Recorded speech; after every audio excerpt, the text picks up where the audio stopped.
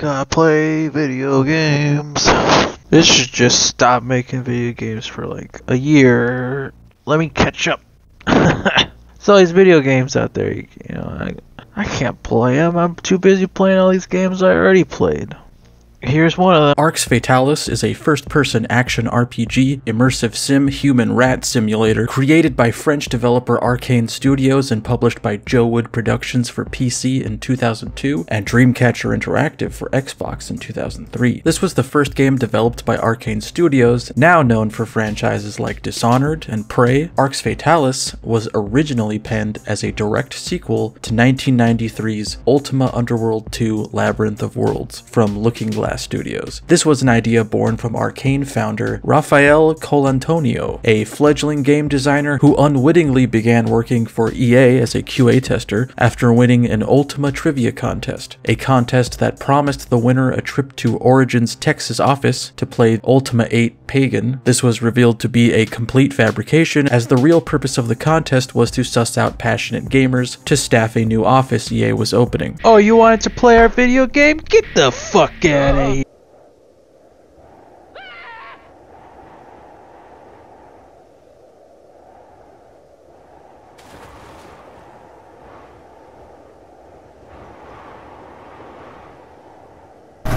Aujourd'hui, ceci n'est plus une catastrophe. Not as exciting, but it does give him a job and helps him avoid mandatory military service in France. While he did get to work to some degree on titles like System Shock, he saw the shift EA was making to focus more on consoles and its library of sports titles, neglecting Origin's output, which was what spurred him to enter that contest in the first place. After leaving EA, he went to Infogrames, where I doubt the work was much more fulfilling. It did teach him how to manage a small team of developers, successfully shipping 1999's The Smurfs for PS1, which looks like this. Arkane was formed within the same year with 11 members and a loan from an uncle. When planning to make a sequel to Ultima Underworld, it seemed logical to reach out to Looking Glass Studios, who owned half the rights to the IP. Paul Neurath, the creative director of Ultima Underworld, was shown a build of their game and essentially had Ultima Underworld 3 pitched to him, and he fully endorsed it, loving the idea enough to agree to set up a meeting with EA, who owned the other half of the IP. As is often the case with development stories for games I like, EA usually winds up being the monster at the end of the story. They were not interested in making the game unless considerable changes were made to it. Not wanting to compromise the vision of this game, Colantonio refused EA's terms and dropped any references to Ultima, retitling the game Arx Fatalis. I think we can probably guess what notes EA would have given to Arkane. They are evidenced in the criticism leveled at the final mainline Ultima game, which was described as rushed, unfinished, and pandering to a more general audience. Three or so years later, Arx Fatalis was finished, but Arkane was on the brink of bankruptcy after difficulties finding a publisher for their first game, with JoWooD bailing them out at the last minute after their first option went bankrupt as the papers were being filed.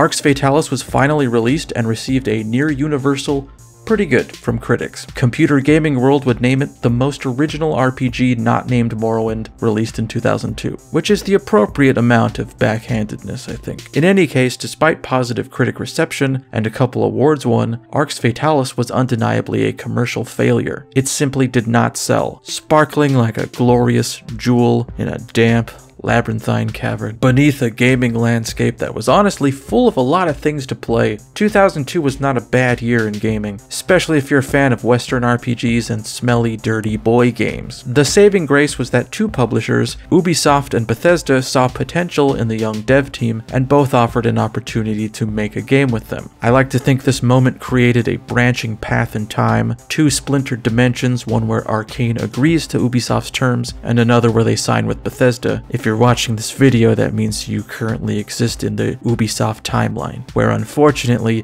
Ubisoft has risen to join the axis of gaming alongside EA and Activision Blizzard. But also Arkane chose Ubisoft to align with out of further fear of bankruptcy, and their work on Arx Fatalis 2 was reshaped to fit into the existing Might and Magic franchise, culminating in 2006's Dark Messiah of Might and Magic, also known as the Kick game, where you play as the Kick Man, kicking around Kick World, kicking things things and stuff. Kick, kick, kick. Arkane is seemingly doing quite well for themselves as of late, with a stream of well liked titles and only the occasional misstep. Origin, the spiritual influence behind Arkane, consumed into the maw of EA with the lifeless corpse of their flagship franchise manipulated through strings to appear on ephemeral mobile and browser games. Though after the failure of these ventures, the body was unceremoniously thrown in a dumpster. The video game industry, respecting art since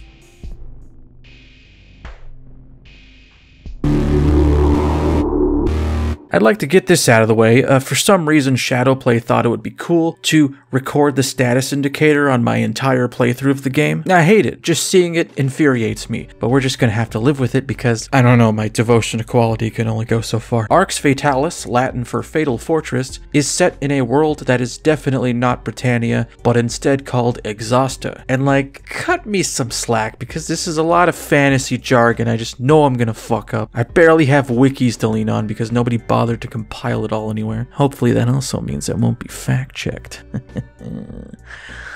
Uh, this is a relatively standard high fantasy setting with all the races and creatures one would expect, though the tone of the setting is noticeably more drab and dreary. It's a world that lost its sun mysteriously following the appearance of a meteor that collided with the planet, turning the landscape of the surface frozen and near inhospitable, with only a handful of settlements holding out, but mostly cut off from each other. The kingdom of Arx is one of these surviving settlements, and in the days leading up to the sun's extinguishing, humans, dwarves, snake women, rat men, goblins, and trolls all temporarily put their differences aside to transfer Arx beneath the surface, retreating into vast underground tunnel systems created by dwarves. This alliance didn't last long after the migration, with each race allotted their own level of the tunnel system. Many of the old grudges and conflicts began to return as a result of the cramped quarters and shortages of resources and resource sorted and resource shortages, which is the fucking stupidest phrase. We got shortages of resources. Fulfilling one of two possible Western RPG origins, you play as a nameless amnesiac who awakes in a goblin prison. The other possible origin, by the way, is go yourself. To avoid having everyone in the world give you a vague placeholder pseudonym like Traveler, Warrior, Hero, Chosen One, and so forth, your cellmate decides, hey, you don't have a name, so I'm just gonna give you one, and it's Am Shagar, which means he who has no name. Okay, I feel like I should be responsible for naming myself, but okay. Arx Fatalis is a pretty open-ended game, so there are a lot of choices you could make or events you could choose to partake in or ignore, but if you wanted to, you and Koltar could bust out of the goblin prison and make your way back to level 1, which is where the human kingdom resides. Before he makes it there, the first sign of human life is an outpost that was mostly wiped out after an attack by the Ylsides, a mysterious and powerful group of soldiers that with this attack have officially declared war with Arx. The wounded survivors of the attack plead with Amshagar to inform the king, and our hero couldn't give a shit. Find someone else to help. I have my own problems to deal with. Like, where you gotta be, dude? You got work in the morning? When we make it back to humanity, the king thanks you for informing them of the attack, but it turns out this attack is a drop in the bucket as far as ominous portents. As of late, a recent string of occult rituals have been taking place around the kingdom, and the dangerous cult responsible has been growing in number. The kingdom's astronomer, Fallon Orboplanix, was murdered, likely because he was pulling at the threads of this conspiracy and because nobody likes saying his name. Am Shagar is pulled into investigating these events, no longer fighting the reality that he just seems drawn to helping others, uh, no matter how much he seems to hate it. It seems I can't escape being drawn into these events. Well, I shall help you. This is all somewhat confusing, Your Majesty. But I could certainly look into it. If you'd like to experience the story yourself and not be told spoilers for a game that's about 20 years old now, go ahead and skip to this time. If not, then feel free to stick around and live out your gaming experiences vicariously through someone else. I'm like the blanket wrapped, atrophied ghoul that offers you this small comfort in exchange for the means to carry on like this. Cracker, cracker, open up the cracker. Open up the cracker. Ah! Uh, yes? Hey, Uh, hello, sir, can I help you? you is dead soon. Okay, Oh, well, that's good. But can I finish talking about this video game first? It's an immersive sim, so that means it's empirically a good game? Immersive sim. What that? Like Thief or Deus Ex? Thief! Yeah, I did a video on that one. Me saw that. Oh, yeah? What did you think? You say lies. You is just too stupid for making Listen, you little shit. Amshagar goes around the kingdom questioning people about the death of Fallon Orbiplanix. Who was Fallon Orbiplanix? Fallon was our astronomer. He died a few days ago. I'm investigating the rituals and the death of Fallon Orbiplanix. That's convenient, seeing as you didn't know who he was a second ago. Who was Fallon Orbiplanix? It's just like, do you care about any of this shit, dude? Like, I'm in this, are you? He eventually digs up Fallon's journal, and the king calls a round table of his advisors to discuss the findings. Okay, this is like the largest info dump in the game and in any game ever, and I had to watch this cutscene like three times. But the journal reveals that Fallon had determined that the recent rash of occult rituals were the work of the followers of Akba, an evil and destructive god, with some members being spies within the kingdom. A sect of this cult worships and makes sacrifices to a fragment of a meteorite called Cultic, which supposedly holds some connection to how Akba was born. The cult is using this to slowly siphon magic energy to Akba so he can be incarnated in Arx. Before his murder, Fallon had managed to contact an astral alternate dimension of sorts called the Nodin, a place where celestial beings sort of maintain a balance of power with the elements. In response to this situation, the Nodin would have sent something called a Guardian, a powerful godlike being with the task of driving out rogue gods and breaking unauthorized connections to the Nodin. So Amshagar is tasked with finding the Guardian, as he is the only one who could destroy the cultic stone and break the flow of power to Akba. So he's given a piece of the meteorite to help him. What? Holy shit. So when Amshagar touches the stone, he partially regains his memory and has a flashback to the Nodin, where this being named Master Slib explains that no god is allowed to leave the Nodin, and the only way Akba will be able to have enough power to do so is through the adulation of his followers. So Slib sends you to Arx to destroy the cult of Akba and the cultic stone, so Akba can't leave the Nodin. What an exhausting sentence. Slib also explains that the process of being transported to other worlds is really taxing on a Guardian's memory, which is a decent enough hand wave for that. That means that Amshagar is. The Guardian. It all makes sense to me now, and especially his constant desire to help others. Well, I shall help you.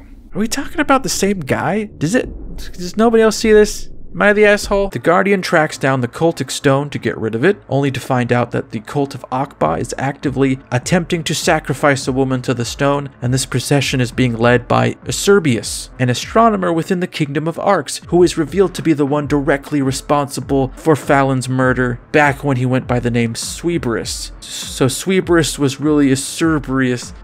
Sweeb Sub Sweeberus was really Acerbius the whole time and had cleverly disguised himself by saying his name backwards, an infallible stratagem if ever there was one. Unfortunately, Amshagar is unable to destroy the stone. It instead drains his power and sends it to Akba, which is very much the opposite sort of thing uh, that we were than the thing we are going for. The king and his advisor deduce that in order to get close enough to the stone and destroy it, the guardian will need a powerful magical artifact that shields from draining magic. And then on top of that, they need to construct the most powerful weapon known to man. And that's the only thing that can defeat Akba should he enter Arx through Iserbius. The only problem is that this artifact is separated into two rings called Krahoz and Zohark that can't function at full capacity unless they're together. One of these rings is in the hands of the Order of Eternium, the snake women who essentially introduced magic to humanity and have a contentious history with humans. And the other is in the hands of a rebel group that stole the ring along with the king's infant daughter several years ago while his father Paxellus was king. I do like the touch of political intrigue uh, amongst the factions in this game. It's not super developed, but there is a decent amount going on besides the standard fantasy game business. There's always one or two more layers to the narrative than I'd expect there to be. There is a coup developing between the Snake Women, and the king's daughter is alive and leading the rebels, but by a treaty devised before she was born, she's meant to be given to the Snake Women in exchange for their use of their ring. There's a lot going on, and a few different ways these conflicts can resolve depending on how thoroughly you explore Arx and what side activities you complete. Even the fate of Koltar could make him your savior or your enemy depending on whether or not you work together. It all comes together quite cleverly. Before facing off with Iserbius and halting the incarnation of Akba, there are a handful of things you can take part in. Some expand on the main plotline, and others are just a fun distraction. You can save a little girl from being sacrificed, get a troll a birthday present, rob the local bank. It's hardly the spread of side content you're likely to see in something like an Elder Scrolls, but for what it is, it's still a marvel that there is so much packed into this game. And it's a pretty bittersweet ending, not by any fault of Arkane. It technically just wraps itself up in a neat bow, but it's just that there is clear optimism for the future of this franchise. It's very much a wide open gate for any number of stories to continue building this world. I found myself thinking back on the experience and realizing how little I've seen and learned about Arx and Exhausta.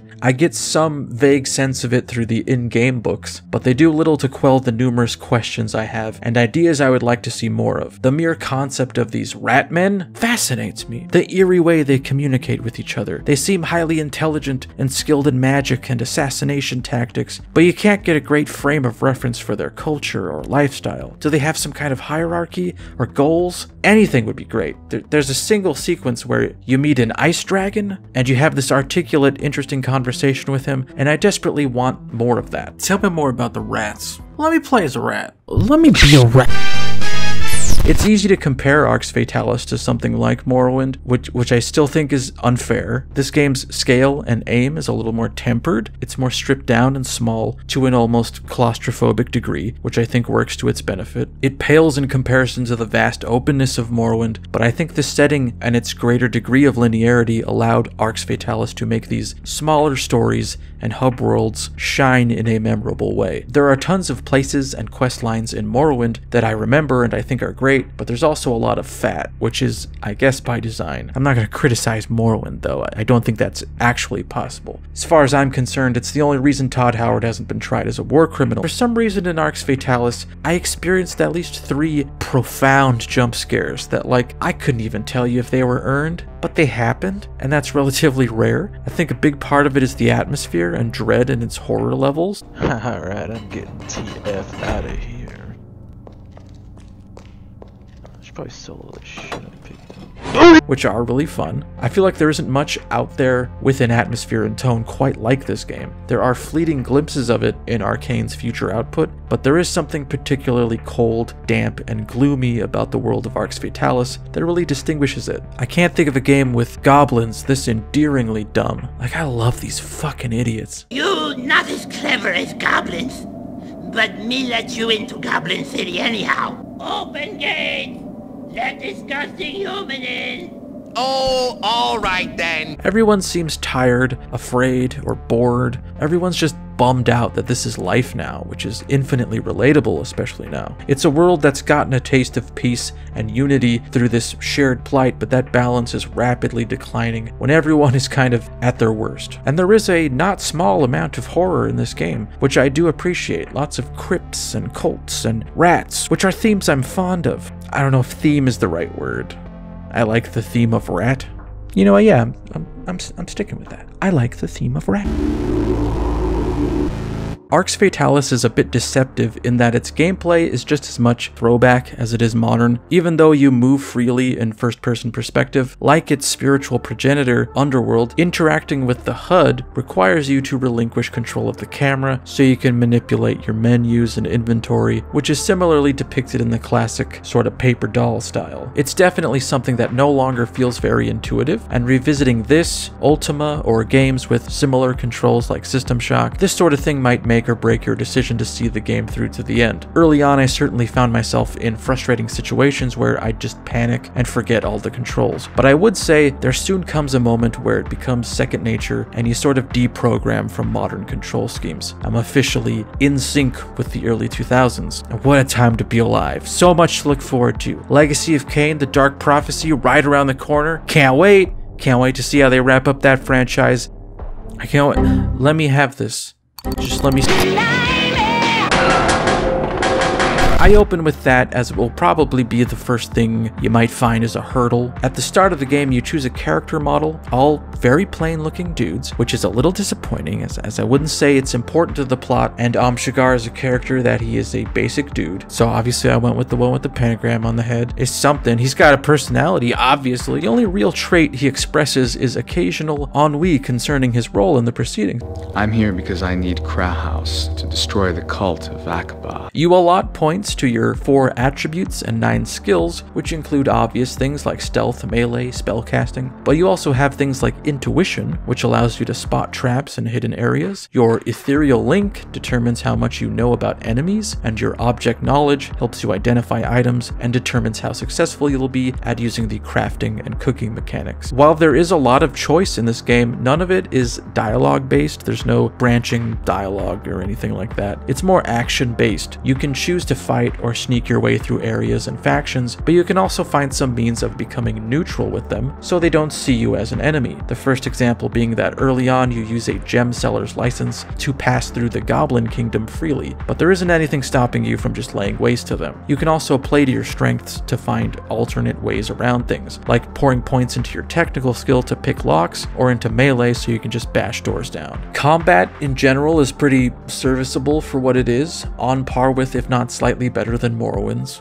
It's you know, you're just you light swing and you heavy swing. The light swing's kind of useless, so it's just a timing game from there. And occasionally you'll get a critical and cleave some fucker in half, which is surprisingly satisfying. I frequently got lost in this game. Even with a relatively comprehensive map, there are hidden entrances and areas only accessible from different floors that are easy to forget and not always expressed on the map. And this is one of my greatest failings as a human being, nearly tied with my willingness to eat out of the garbage. I am terrible with direction. Can't tell you how many laps I'd do of every level just trying to remember how I got into this one area, which knowing me there was a gate I neglected to open that would have made things easier later, but I missed it because I also have fucked eyes and I can't see the camouflaged keyholes made of 3 by 3 pixels, and when I do spot it, I can't find which of the 10 million keys I have that fits it because I didn't know I could buy a keyring until two thirds into this shit, which took me like three days because I kept getting lost. Then I found a cute dog and I gave him some chicken and I thought he would be my friend, but he abandoned me.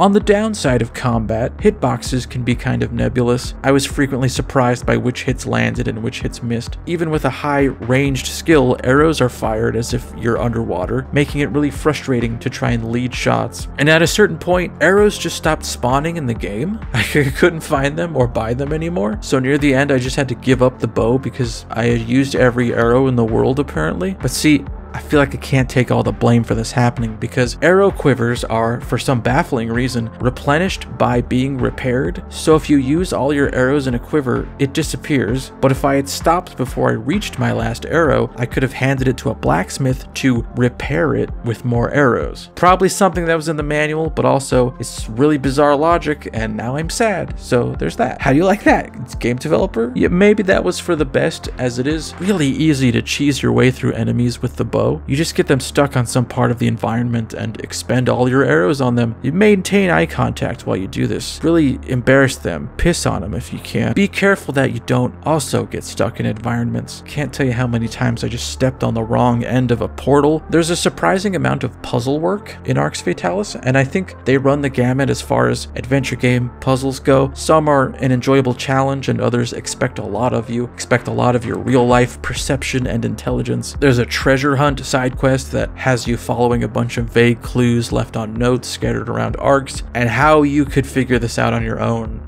is beyond me. It is beyond big brain time. But there are a few that are honestly not that difficult, but clever enough that I felt a sense of accomplishment in figuring them out. Sometimes I feel like my mind is attuned to the way adventure game puzzles work, and other times I'll sell or throw away quest items that are required to complete the game, and I have to rewatch all the footage of my entire playthrough to retrace my steps and find out when I had disgraced myself, and then shamefully run back to all those areas to retrieve them, taking solace in the fact that at the very least nobody has to know that I did something so dumb.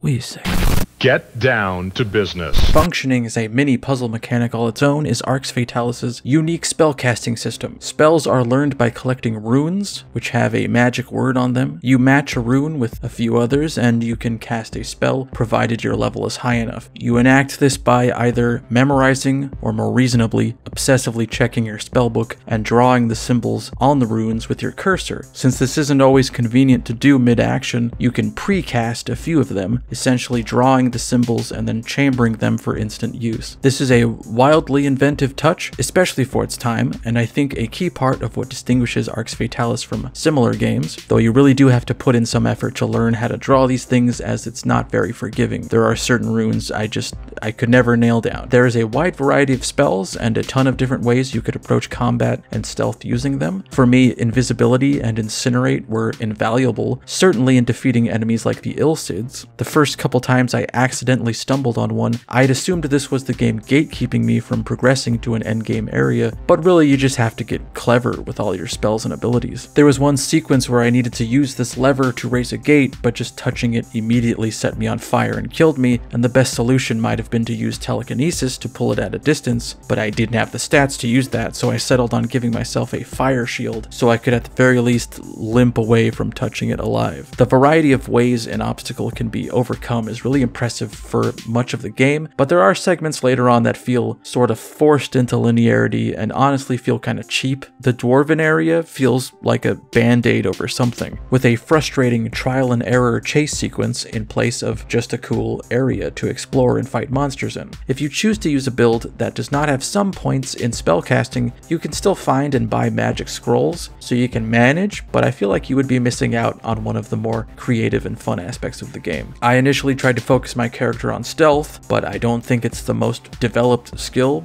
There isn't much to it that feels like a payoff until late in the game. At first I got excited because I saw that thing at the bottom which looks like the light gem from Thief, but that actually just shows how powerful your attack's gonna be. And the way stealth actually works is kind of mysterious and uh, mostly worthless unless you want to pickpocket people. A lot of older reviews criticize the game's hunger mechanic and think of it as not much more than an annoyance because of the frequency that Am Shigar needs to eat or just because it's a holdover from older RPGs. Maybe this has been addressed in patches that came about in the years in between, but I legitimately didn't remember this being a mechanic in the game at all until like halfway through this playthrough.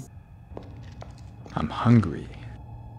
Hey, you you do that? There's a decent amount of food you can cook and prepare should you feel so inclined, but like potion making, it's easy to pass over this function entirely. I barely noticed hunger because I was just hoovering up any food I came across. Sucking mushrooms out of the dirt, dude. I don't even know why I was doing it half the time. Maybe I assumed Shigar also had an unfillable void, ready to be stuffed with garbage. Speaking of garbage, for reasons beyond me, the first time I played both Arx Fatalis and Morrowind, for that matter, was on a console. I have no idea how that winded up being the circumstance, so I was morbidly curious how the game functions on Xbox, because in playing it on PC, it's a lot for my brain to remember. There's a lot of functions and commands, but we're on a PC where that is the most easy to deal with. And I was routinely in shock that I got through this with a controller. So I popped this fucker in and this is an Xbox. Obviously, visually it takes a dive, looking darker and muddier, and most of the assets look real low res, and the presence of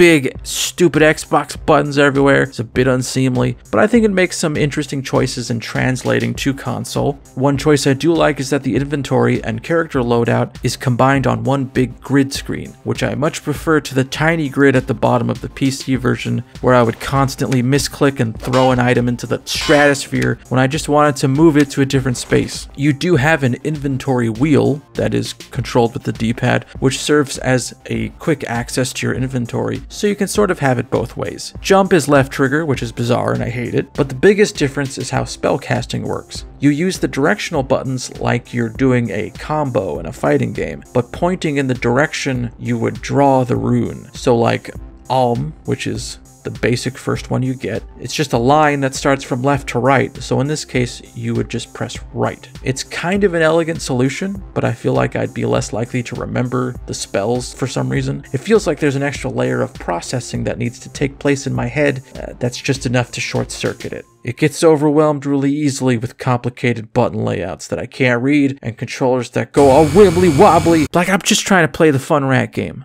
Okay? Don't gotta give me a 4D experience. Look, I'm not one of these elitist, gatekeeping gamers that's gonna whine about how they don't make them like that anymore. But seriously, guys? They don't make them like that. I'm easily enamored by older game design. And Arx Fatalis is no exception. It's still a lovely looking game, and it's got some quirk to it as well. I could compare it visually to something like Thief, or Morrowind, or King's Field 4, but it's got such a clearly defined vibe of its own. It's got a lot of the stiff animation and chunkiness of a game from the early 2000s, but it's also got some pretty impressive lighting and textures. I'm in love with NPCs' faces. They look almost like photos of actors' faces placed on blocky puppets. This is another circumstance where I feel like what I just said was a criticism criticism, but it wasn't. I actually love their faces very genuinely because I'm in an emotional wreck at the moment uh, and I don't know where to aim that. I give this game a lot of points for its body awareness. I love being able to look down and see how disgusting I am. Every level of Arx is really atmospheric and is surprisingly distinguishable from each other. You'd think with a color palette that is mostly gray and brown, it would all kind of blur together into an insufferable maze, but there's a lot that differentiates what level you're on and who lives there. I did experience some odd visual glitches glitches, like certain textures being stretched into oblivion during cutscenes. Sometimes the screen would flash a solid color for some reason. I can only assume it's a thing that's going to vary from person to person and is probably a result of the game being optimized for modern machines. I don't have the strength to check modern reviews of this game yet, but I imagine its voice acting probably got a lot of shit. Sweeberus, what can you tell me about the rituals? Do you know who killed Falan Orbiplanax? Really, I don't know what you're talking about.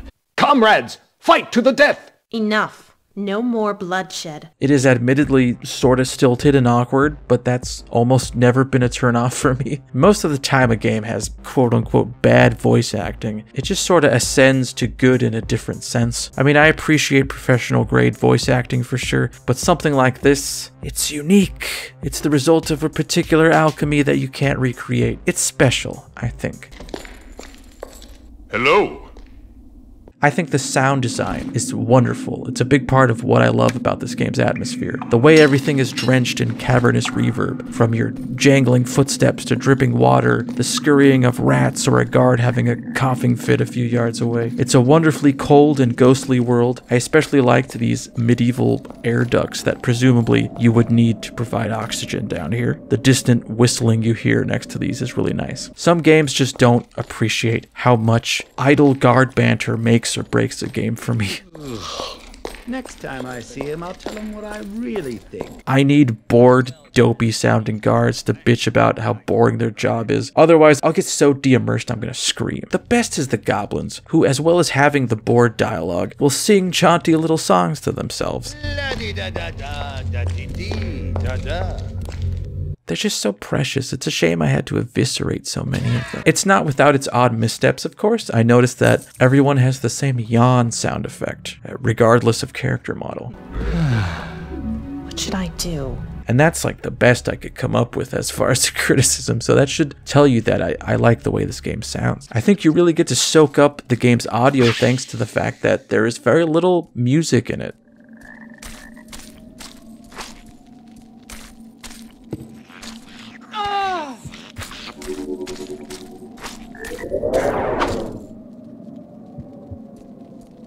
And what music there is is very understated. It's mostly ambience. They function more like sound palettes that are tangled up in the natural sounds you'd hear in this kind of location. It's almost diegetic in this way.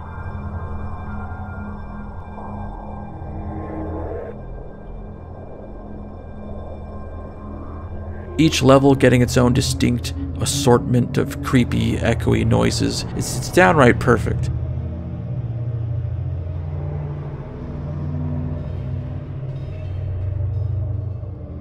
I feel like the closest to the soundtrack gets to conventional song structure is the song that plays in the Yellow Tulip Bar, and even that sounds like it's some tragic memory in a half remembered dream.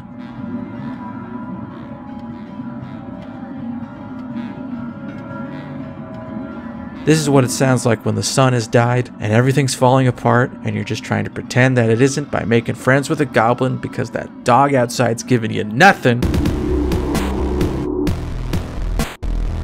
has not aged well, sadly. With the innovation Arx Fatalis brought to the RPG table, it's a damn shame it has not aged well. The reason being is, all the ideas Arkane Studios formed with Arx Fatalis have been overshadowed by their latest game, Dark Messiah. It's hard to go back to a studio's previous work when their newest offering is the same price and 10 times better. So for me, Arx Fatalis was great when it came out, but Dark Messiah brings a dark shadow to this old dungeon crawler and smashes the support beams. Look, all due respect to the kick game, kick! but I don't see that game aspiring to be Arx Fatalis, but better. Its ethos seems so different to the point where this comparison seems pointless. Whenever a developer I like puts out a new game, I don't think, oh boy, now I can't play anything else they've made, what's the point? Maybe it's the result of people playing games, you know, that just update every year, so it's like, well, why would I play the last one? Because there's a new one that's the same game but prettier. But don't you have, like, nostalgia? What are you, complacent with the present? Like some kind of psycho? Gameplay is long and slow moving. While it has okay graphics, the play experience is by far the worst I have ever had. Gameplay is long is an interesting complaint. It is kind of slow, but you can use spells to really zip around if you want. I don't think that's entirely what they were going for though. I think they wanted you to take your time exploring and absorbing the world. So maybe it's just not the kind of game for you. You are very fortunate I think, that this is the worst experience you've had in gaming. You haven't had to watch kingdoms fall, stars burn out. You just had to play a game that is slower than other games you've played. Despite promising aspects like cooking, this came out to be an extremely boring Morrowind wannabe. This is an odd insult to lob at Arx Fatalis as there were six months in between the release of it and Morrowind. So if they were aspiring to be a Morrowind clone, which they weren't, they must have had to act real quick during that period. This is the burden that comes with being a huge fan of Morrowind, as I am. Its its fandom is full of fuckers like this. Not like Morrowind. All the reviews I read before buying Arx Fatalis said it was like Morrowind, just with worse voice acting, but it is much more than just bad voice acting. The game overall feels dry and boring. Pull out your old Morrowind disc and play it again instead. See, what did I say? Steam has Arx Fatalis for $4.99. Granted, it has no DRM here, as well as the rest of the goodies, but it's only fair to point out that it's currently $5 more from GOG. How is that a fair point? You just said you're getting more shit!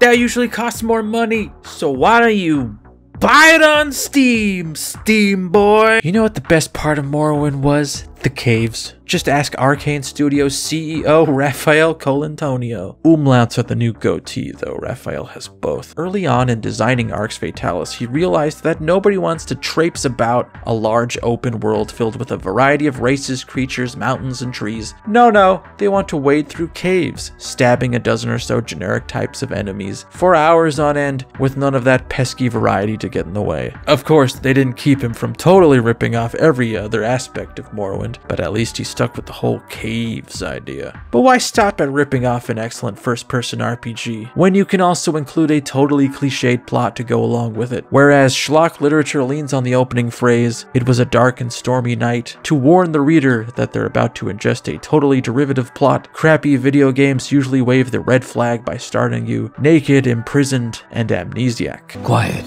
Here comes the guard. You hear that?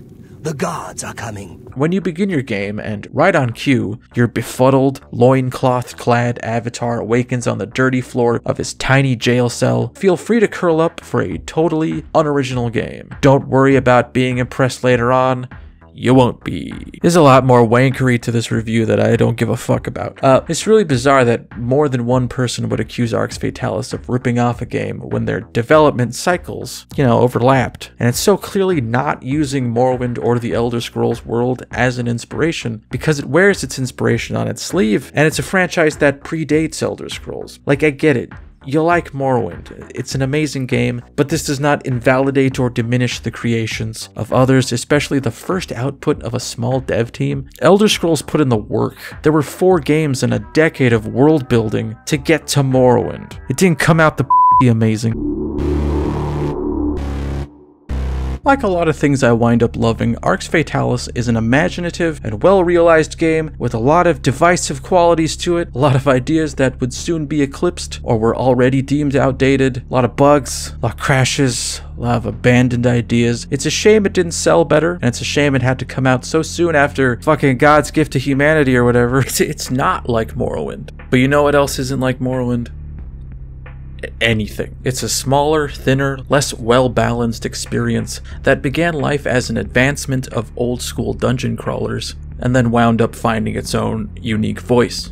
It was released in an odd transitory period in gaming that caused it to age more rapidly than other games, it seems. There's a lot that's unintuitive about Arx Fatalis for sure. It certainly represents the death throes of games that put an inordinate amount of faith in the player to read and learn about how the game works. So if you were to play it for the first time now, it's likely you'll need to consult some kind of guide or a scan of the manual, which not even that really seems to deep dive into all the things you can actually do, which I front like I don't get, but I get. It's more and more a big ask, you know, to dump research onto a game. Like, you just want to play a game. I have my cutoff point as well, where I guess to some extent I could say this game is too old for me to play. You, are not going to catch me playing Ultima 1. You call that a rat?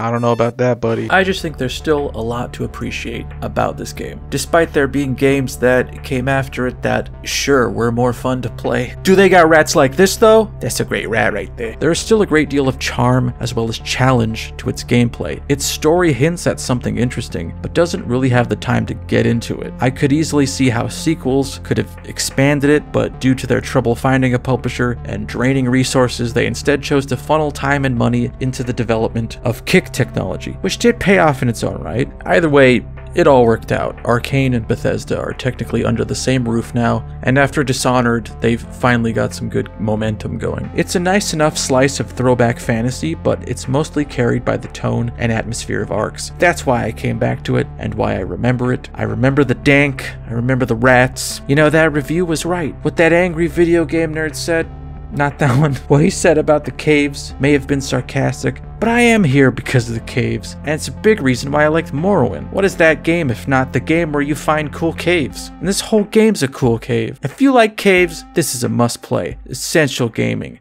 If you're neutral on caves, I don't know, stop it. You've reached the end of the video. Thank you for watching it.